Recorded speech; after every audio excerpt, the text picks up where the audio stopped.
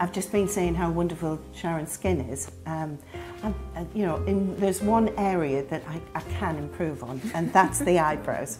Now, the wonderful thing is, the shape's there, but she's like me. She, they're quite blonde.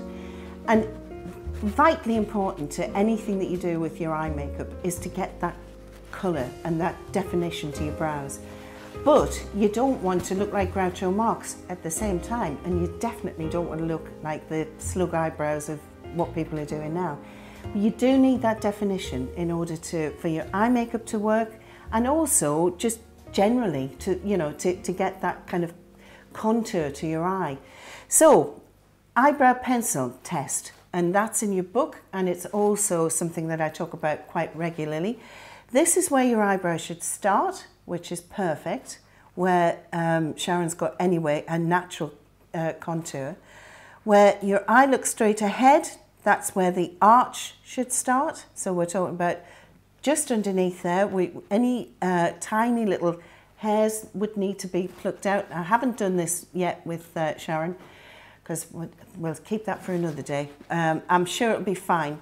And then where you, from the nose to the corner of the eye, that's where your eyebrow should finish, okay? So it's very, very simple. Go like that and then like that, okay? So I'm going to use the um, Studio 10 pencil again. It's really, really good, this one, because it's not too dark, so you're not going to get, you know, get that shock. It's actually very, very similar to a kind of mousy hair colour. If you're a woman of colour or you've got very, very dark brows, then we have got something for that. But in the, the general the room of thumb, so room of, rule of thumb, I haven't, I've only been having coffee, honestly, uh, is this one's good. So first there, then when the eye looks straight ahead and there, so you can see that it's kind of mapped out and off we go. Now what you need to do is just use tiny little strokes this is really, really key. Don't try to get hold of it and just go like that because you're actually going to really just get this kind of strong overarched eyebrow of back in the day. We want it to look really natural. So tiny little strokes up like that. And then from the middle, just tiny little strokes again to there. Don't try to do it in one go because if you do, you'll end up really with that overarched brow that we don't need. I'm going to use a brush and just very softly, again, brushing it up, brush it over like that so that you can see the immediate effect.